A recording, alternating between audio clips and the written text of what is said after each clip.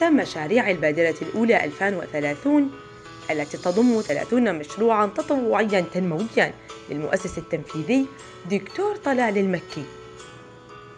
تم إنشاء مشروع لاب تيست مشروع ريادي مبتكر يسعى لتقديم خدمات صحية مخبرية تثقيفية لكافة أفراد المجتمع وأهل المختبرات خاصة. رؤيتنا ورسالتنا أن تكون جهة توعوية ابتداء بنظرة محلية حتى الانتقال لنظرة عالمية وأن نكون المرجع الأول في مجال طب المختبرات. يضم المشروع سبع لجان. لجنة دراسة المحتوى. البحث عن المحتويات العلمية المفيدة التي تسمو لبناء المجتمع وازدياد الإثراء العلمي للمختبرات خاصة. لجنة التدقيق. تدقيق جميع المعلومات لضمان خلوها من أي معلومة خاطئة. لجنة الترجمة. يتم ترجمة المواضيع من اللغة الإنجليزية إلى اللغة العربية. وعدة لغات مستقبلاً. لجنة التصميم والتنسيق. إخراج المعلومات بأجمل وأبسط صورة بعدة طرق. ويمكن أن تكون بوستر فيديو وأمور أخرى.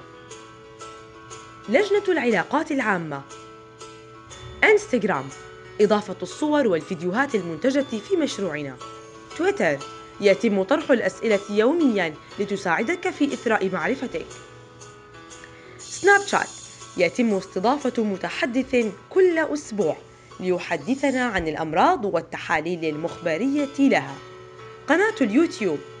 إنزال المحتويات العلمية التي تم تصميمها كفيديو.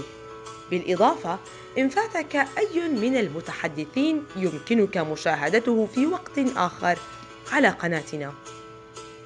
الموقع الإلكتروني يتم إضافة كل ما هو جديد من دورات وأخبار لتبقى على اطلاع مباشر.